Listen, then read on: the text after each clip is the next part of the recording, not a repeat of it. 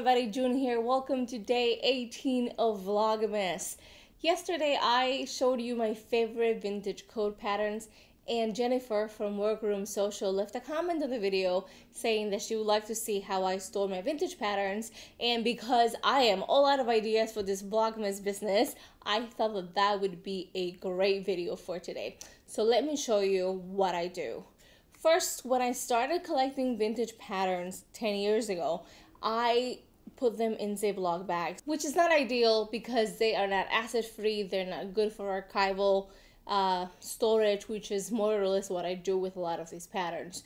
So in the last year, I think I have switched to something else that I think is even better. And they are, I hope it's not too bright, these comic book bags these particular ones are 6 and 7 eighths of an inch by ten and a half. And they do fit most patterns. They are, let me show you, actually let me show you here. This is one with a pattern inside and most patterns are sized uh, in a way that will fit in these bags. I do have one pattern, one vintage pattern that is really big and does not fit in one of these, but that's the only one. So I keep them in these and let me show you how I do that. I mean, it's like you don't really need instructions, but it's a very simple um, storage process. The comic book bags are resealable, so they come with a, a little piece of plastic here covering the glue. Then you take your pattern. And this I haven't talked about, but this is a 1920s original McCall pattern. And it is a House of Worth design.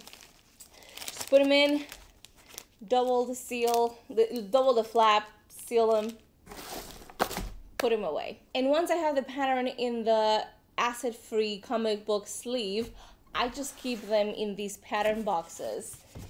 Uh, these, I believe, are made by Dritz. Unfortunately, they don't make them anymore, so you can't buy these boxes, but just try to find acid-free archival type uh, boxes, and that will do just fine.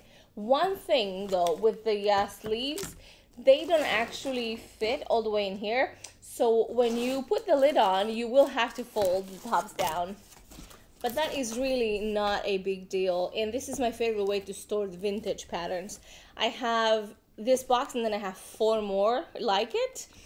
And my modern patterns are just stored in shelves. Um, at some point those will become vintage but i'll deal with that when i get to that.